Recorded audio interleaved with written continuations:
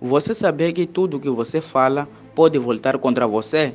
É provável que tenha ouvido alguém dizendo que palavras têm poder e que elas podem mesmo até envenenar ao universo e ele devolverá com coisas boas ou ruins. Por outro lado, é comum ver pastores afirmando que isso não tem nada a ver, porque tudo acontece de acordo com a vontade de Deus. Eles também dizem que pode falar o que quiser, pois isso não tem nenhum efeito.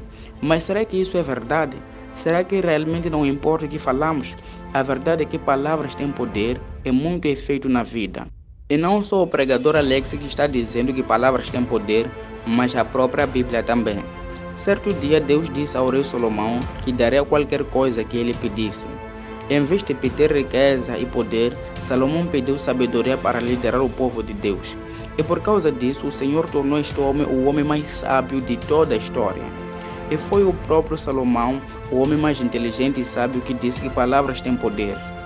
Em Provérbios capítulo 18, ele disse o seguinte: A língua tem poder sobre a vida e sobre a morte. Os que gostam de usá-la comerão do seu fruto. Amém?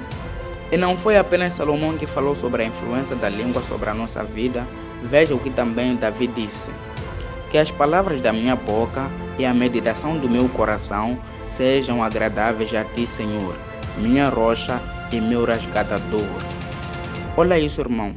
Isso significa que as palavras podem agradar ou mesmo desagradar ao Senhor.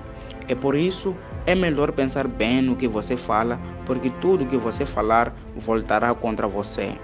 E no livro de Samuel, capítulo 17, Davi se direcionou a um gigante dizendo que ia matá-lo e cortar a sua cabeça.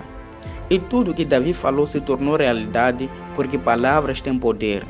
É por isso que quem vive dizendo que é pobre e miserável colherá o fruto da sua língua.